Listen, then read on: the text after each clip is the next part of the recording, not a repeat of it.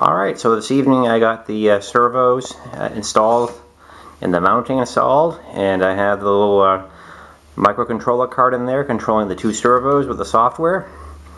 And uh, what it's doing is every few seconds just randomly moving that holographic projector around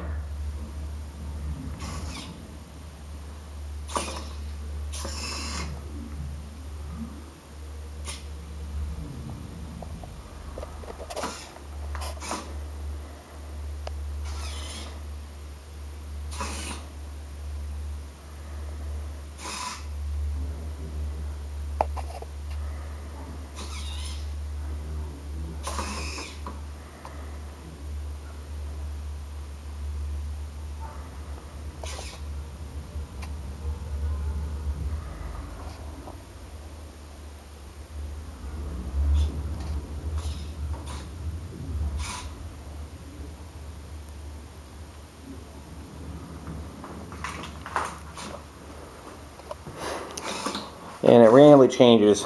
It uh, the program is set up for either between every one and six seconds. It'll randomly pull uh, an x and y coordinate based on the range I gave it. And as you can see, sometimes it's very dramatic, and uh, sometimes not so much.